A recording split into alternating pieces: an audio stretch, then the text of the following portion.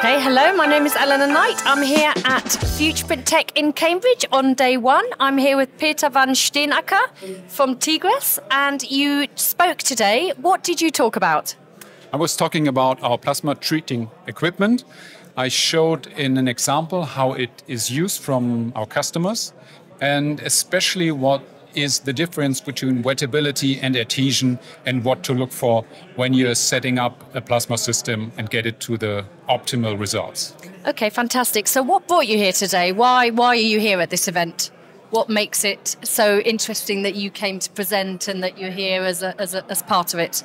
It's interesting because um, we want to be part in the industry and to, to be um, where the industry is meeting and to get in contact with the people we already know, but also to get to know new people or people we didn't know in, until now. Okay.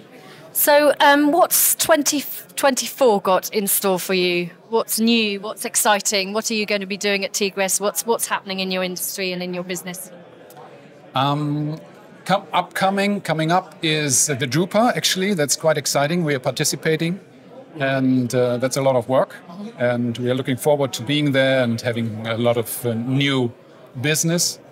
Um, we have been very successful in the last years with digital printing, and we want to continue in that process. And we have a lot of things going on, uh, going to different countries and introducing our systems over there.